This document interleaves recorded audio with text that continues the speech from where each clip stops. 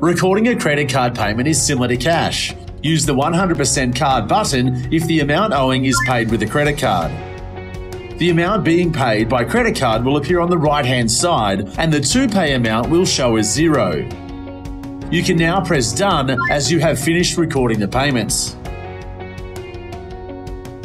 If only some of the amount is being paid by credit card, you can press card.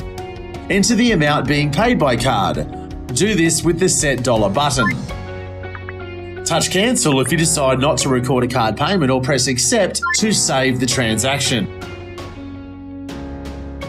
If the passenger has paid less than the full amount on the credit card, you will not be able to use the Done button as you haven't fully accounted for the fare.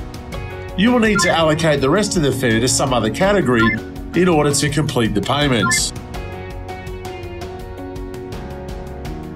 If your passengers put extra on the credit card to give you a tip, simply enter the amount paid. The extra will appear as a tip in the to pay section this will also show on the end of shift report. Press done to record the payment and the tip.